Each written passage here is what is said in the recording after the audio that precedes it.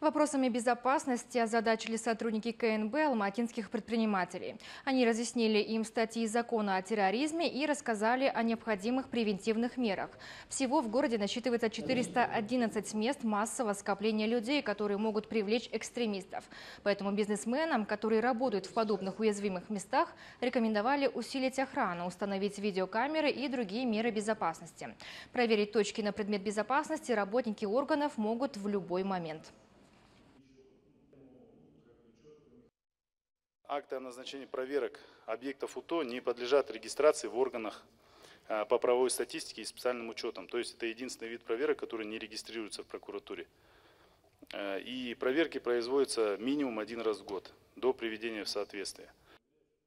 Теперь совместные встречи сотрудников Комитета национальной безопасности и предпринимателей будут проводиться каждый месяц. Причина такого беспокойства в том, что в глобальном индексе безопасности Казахстан занимает 62 место.